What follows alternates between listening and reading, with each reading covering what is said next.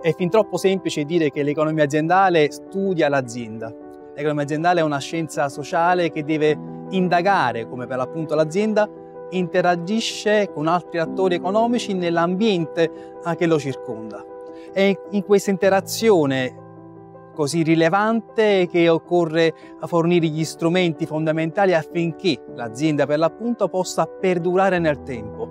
Uh, la continuità aziendale è una caratteristica fondamentale che implica una capacità di creare valore, implica che questa non debba semplicemente nascere per poi uh, finire entro un breve termine, significa invece fare in modo che questa possa nel tempo, in un tempo indefinito, possibilmente anche indeterminato, generare valore.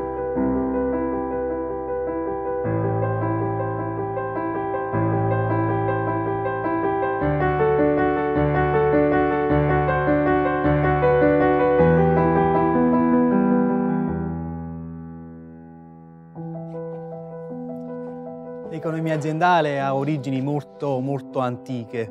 Uh, questo è un libro di frate Luca Pacioli. Uh, era la seconda edizione, quella del 1509, uh, rispetto alla sua originale del 1494, ma c'è una certa emozione nel stare in presenza di questo libro perché è il primo volume in cui per la prima volta la contabilità viene formalizzata nel modo con cui ancora oggi viene tenuta uh, nell'intero mondo.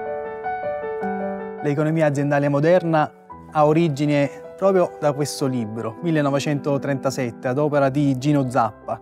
È il padre fondatore di questa disciplina nel modo con cui ancora oggi uh, si conosce e si studia. È colui che ha definito l'azienda, ha impostato la modalità di rilevazione e fornisce gli strumenti fondamentali, chiaramente poi si sono sviluppati, con cui osservare l'andamento economico dell'azienda se volete studiare le condizioni di sopravvivenza dell'azienda, se volete imparare gli strumenti che l'azienda deve impiegare affinché possa garantire questa continuità temporale, vi invito tutti a iscrivervi al mio corso di economia aziendale.